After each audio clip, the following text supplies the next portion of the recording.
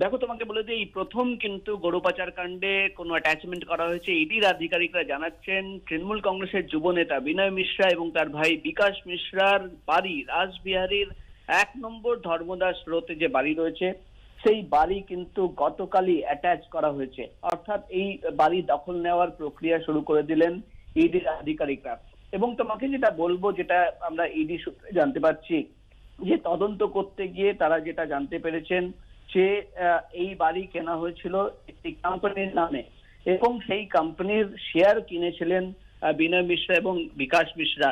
Ananta trade com private limited দু হাজার সতেরো সালে এই অনন্ত ট্রেড কাম প্রাইভেট লিমিটেডের শেয়ার তারা কিনেছিল, যেটা প্রাথমিকভাবে ইডির তরফে দাবি করা হচ্ছে যে সাড়ে তিন কোটি টাকা দিয়ে এই বাড়ি কেনা হয়েছিল। এবং যেটা তদন্ততে উঠে আসছে যেটা ইডির আধিকারিকরা দাবি করছেন যে অক্টোবর দু ষোলো থেকে হ্যাঁ মার্চ দু হাজার সতেরোর মধ্যে এনামুল হকের কাছ থেকে যে ছ কোটি টাকা তারা নিয়েছিলেন সেই ছ কোটি টাকা ব্যবহার করা হয়েছে এই বাড়ি কেনার জন্য। তাই এই বাড়ি অ্যাটাচ করা হয়েছে। সব মিলে কিন্তু গরু পাচার কাণ্ডে তৃণমূল কংগ্রেসের যুব নেতা আহ, বিনয় মিশ্রা রাসবিহারীর এক নম্বর ধর্মদাস রোড যে বাড়ি সেই বাড়ি কিন্তু অ্যাটাচ করা হয়েছে এমনই খবর আমরা ইডি সূত্রে পাচ্ছি। ধন্যবাদ প্রকাশ। আর কুসুমিতা গতকাল বিজেপির এই প্রার্থী তালিকা প্রকাশ হওয়ার পরই আমরা দেখলাম অশান্তির ছবি। দক্ষিণবঙ্গের একাধিক জেলায় ক্ষোভের আগুন। কোথাও দলের পার্টি অফিস ভেঙে গুড়িয়ে দিলেন বিজেপি কর্মীরা। কোথাও প্রার্থী বদলের বিরোধিতায় উঠল স্লোগান। যদিও বিক্ষোভে আমল দিচ্ছে না বিজেপি। তছনছ করে দেয়া হলো পার্টি অফিস। জ্বালিয়ে দেয়া হলো ফ্লেক্স কোথাও উঠল স্লোগান শেষ চার দফা ভোটের জন্য বিজেপি প্রার্থীদের নাম ঘোষণা হতেই জেলায় জেলায় ক্ষোভে ফেটে পড়লেন দলের কর্মী সমর্থকরা।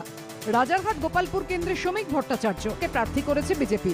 প্রতিবাদে দমদম রোডে বিজেপির পার্টি অফিসে ব্যাপক ভাঙচুর চালালেন দলীয় কর্মীদের একাংশ।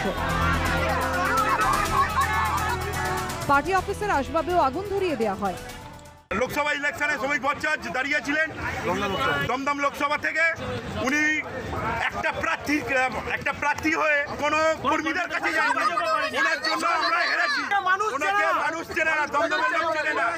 তৃণমূল ছেড়ে আসা শান্তিপুরের বিদায়ী বিধায়ক অরিন্দম ভট্টাচার্যকে জগদ্দলে প্রার্থী করেছে বিজেপি। এর প্রতিবাদে শ্যামনগরে দলীয় কর্মীদের একাংশ পার্টি অফিসে থাকা ফ্লেক্স পুড়িয়ে রানাঘাট উত্তর পশ্চিম কেন্দ্রে পার্থসারথী চট্টোপাধ্যায়কে প্রার্থী করেছে বিজেপি। দলের এই সিদ্ধান্তের বিরুদ্ধে স্লোগান দিতে দেখা গেল দলীয় কর্মীদেরই।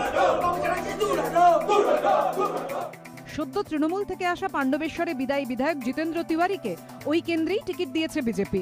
তার বিরুদ্ধেও পথে নামেন দলীয় কর্মীদের একাংশ।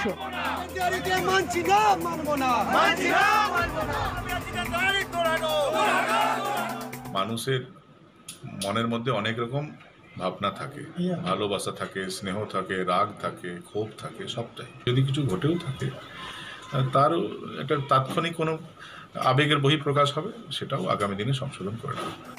তৃণমূল ছেড়ে আসা অবসরপ্রাপ্ত সেনাকর্তা দীপ্তাংশু চৌধুরীকে দুর্গাপুর পূর্বে প্রার্থী করেছে বিজেপি। দলের এই সিদ্ধান্তের বিরুদ্ধেও সরব হয়েছেন কর্মী সমর্থকরা। রানীগঞ্জে বিজেপির প্রার্থী হয়েছেন বিজন মুখোপাধ্যায়। তার বিরুদ্ধেও উঠেছে স্লোগান। কুলটিতে চিকিৎসক অজয় পোদ্দারকে বিজেপি প্রার্থী করায় নির্দল হিসেবে প্রতিদ্বন্দ্বিতা করবেন বলে হুঁশিয়ারি দিয়েছেন কুলটি মণ্ডলের সভাপতি অমিত গড়াই। ফেসবুকেও ছড়িয়ে পড়েছে সেই পোস্ট। বাংলা দখল করতে ঝাঁপিয়ে পড়েছে বিজেপি। কিন্তু প্রার্থী নিয়ে বাড়তে থাকা ক্ষোভ কীভাবে সামাল দেয় গেরুয়া শিবির সেটাই এখন দেখার। এবিপি আনন্দ।